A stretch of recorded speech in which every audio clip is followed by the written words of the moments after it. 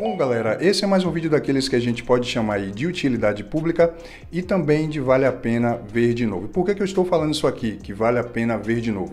Porque eu já trouxe esse mesmo vídeo aqui para o canal e, galera, sem exagero, o feedback positivo que eu tive a respeito desse aplicativo na época foi surreal. Eu vou até deixar esse vídeo linkado é, aqui na descrição, caso vocês queiram conferir né, o feedback positivo que a galera deu, o pessoal que utilizou aí esse aplicativo, tá? Foi surreal, galera. O aplicativo é muito útil e vocês vão gostar bastante. E eu, eu, acho que o momento é muito propício para trazer esse tipo de conteúdo para o canal, já que está todo mundo aí, todo mundo não, né? Boa parte atualizando para HyperOS. Alguns dispositivos estão recebendo aí atualizações ainda da MIUI 14, outros recebendo a última atualização preparando aí para HyperOS. E é exatamente aí que entra a utilidade desse aplicativo aqui, tá galera? Esse é um tipo de conteúdo que nunca envelhece e sempre vale a pena estar é, tá trazendo aí novamente para o canal. Acredito que de lá para cá deve ter entrado aí mais de 100 mil pessoas que nem sabem da existência aqui desse aplicativo e desse vídeo que eu já tinha feito há um tempinho aqui no canal. Enfim, o link para download do aplicativo está aqui na descrição, é só baixar e seguir o passo a passo. Blindado, para que, que serve esse aplicativo? Galera, esse aplicativo aqui, é, vamos começar logo pela instalação, tá?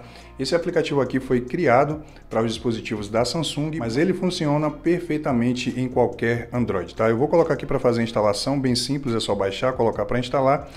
E a utilidade desse aplicativo aqui, galera, é justamente é, após uma atualização. A gente sabe muito bem que quando tem uma atualização muito grande, né, que altera aí a versão do Android, ou às vezes é uma atualização só da MIUI ou HyperOS que é muito grande, é super recomendável que é, seja feito um hard reset, né? Porém, as pessoas têm aí é, aplicativos de banco, coisas do tipo, não tem tempo para estar tá indo é, em banco, gerar token e tudo mais. E tem muitas pessoas que não querem formatar o seu dispositivo e é aí que entra a utilidade desse aplicativo. Esse aplicativo aqui, galera, é totalmente funcional. É só vocês irem lá no, no outro vídeo, vocês vão ver é, o feedback que o pessoal deu e ele é altamente recomendado para utilizar aqui após uma atualização. É, galera, o que é que vocês vão fazer? Rapidinho aqui, vocês vão precisar baixar o Activity Launcher, tá? Ele está disponível diretamente na Play Store, é só baixar, eu acredito que quase todo mundo aqui do canal já tem esse aplicativo. Baixou o Activity Launcher, segura aqui em cima dele, vem informações do aplicativo, outras permissões e aqui ó, vamos dar permissão de criar atalho na tela inicial. Coloco aqui sempre permitir, vamos entrar aqui no Activity Launcher, clicar em OK, vamos aguardar ele carregar os aplicativos. Instalou, vem aqui no Activity Launcher, é, digita aí Samsung, ele já vai aparecer aqui, ó.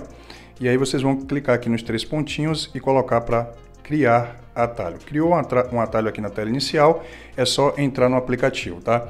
Aqui ele vai fazer é, o escaneamento aqui dos seus aplicativos. Aqui ele localizou 392 aplicativos. No caso de vocês aí vai localizar a quantidade de aplicativos que vocês têm e o tempo de que leva aqui para otimizar vai depender do seu dispositivo e também da quantidade de aplicativos que você tem, tá? Você pode marcar essa opção para otimizar os últimos apps né, utilizados aí nos últimos 30 dias ou você deixa desmarcado para otimizar todos, tá? Clica aqui em otimizar agora, ele vai começar a fazer o processo aqui e aqui vai ser bem rapidinho porque eu tenho pouca coisa instalada aqui no Poco F5, já que não é o meu dispositivo de uso pessoal, tá?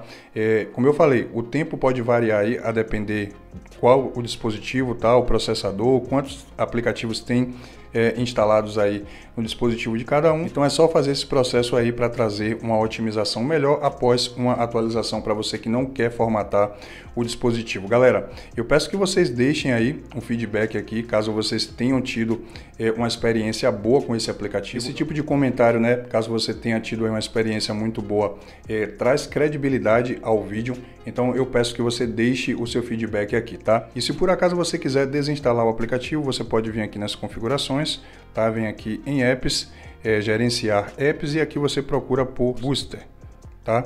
Coloca aqui, ó, e aqui vai aparecer eh, o aplicativo, é só desinstalar, tá? No mais, é isso. Se vocês curtiram esse vídeo, não esqueçam de deixar o like, estamos juntos e até a próxima.